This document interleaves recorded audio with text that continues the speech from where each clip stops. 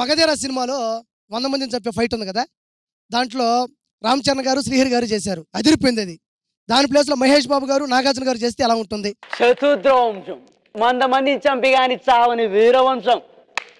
మాన్సింగ్ నువ్వు చెప్పిన చరిత్ర.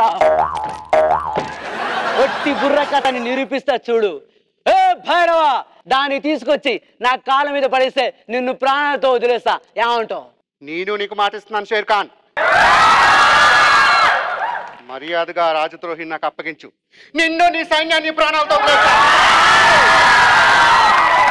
వంద మందిని పంపిస్తా. కాచుకో.